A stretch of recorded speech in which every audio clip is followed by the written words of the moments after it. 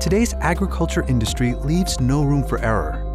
With global food demands on the rise, farmers must maximize crop yields through precision technology, while also deploying sustainable and scalable farming techniques. DigiKey presents Farm Different, where we explore how technology is elevating the art of farming with sustainable and automated solutions, powered by analog devices, Amphenol, and SupplyFrame. Computer vision, robotics, and edge computing are empowering farmers to adapt to shifting variables and make smart adjustments at the plant level in real time. FarmWise enables more profitable farming at any scale, accurately and instantaneously detecting and removing weeds without damaging the crops below. Our belief is that computer vision is going to be pervasive in agricultural equipment. Imagine you come out to the field with us and you're looking down sort of at standing height anything that you can see and understand about the crop, the soil, the residue that's on top of the ground, the health of the plant, we can train computer vision models to identify those things and to do it very quickly. So this is our Vulcan weeding implement. We have it over a treadmill so we can do a variety of testing. So I'd say with three basic adjustments, you can have the machine adjusted perfectly to your field in weeding. From six lines across the bed down to just a single line. And this is how wide the, the blade opens, so I'll turn that down a little bit. This is the margin for how close we get to the plant. And we can also adjust the blade speed, how quickly those blades open and close. At this point, I'm ready to go. A lot of engineering effort, a lot of thought and energy went into making sure that this box would operate in a variety of different conditions. We have the two stereo cameras on the outside and we have the central camera.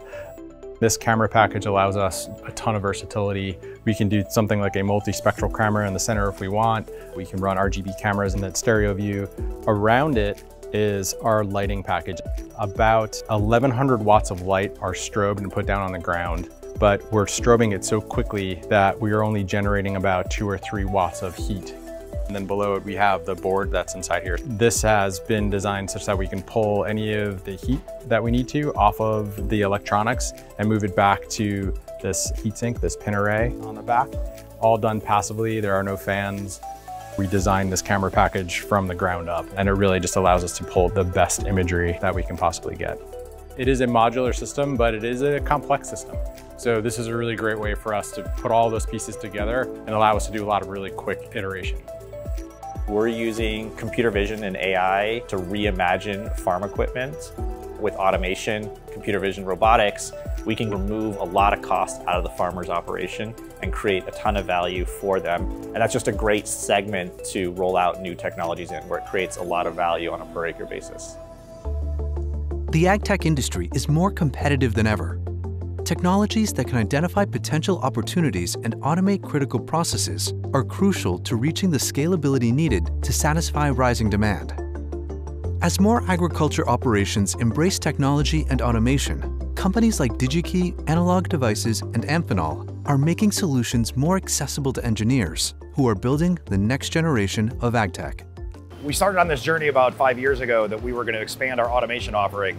And in the process, we've been adding on most of the large name manufacturers and a lot of specialized manufacturers because ultimately our goal is to have everything the customer needs to put in an automation project. The fun part is that DigiKey has traditionally serviced people manufacturing things with electronics in it. With automation, we're actually reaching anybody manufacturing anything.